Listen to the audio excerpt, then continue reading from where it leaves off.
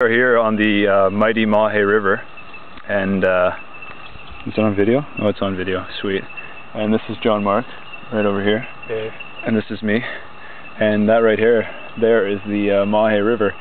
Uh, it's, it's about seven o'clock. And uh, mom, if you uh, if you find this uh, camera, if they send it to you in Canada, I love you. And uh, yeah, it's been great working uh, in Liberia. Hopefully, we'll make it home. Who would have thought it would end like this? oh wow, there are some stars. We can navigate by the stars, John Mark. Cheers.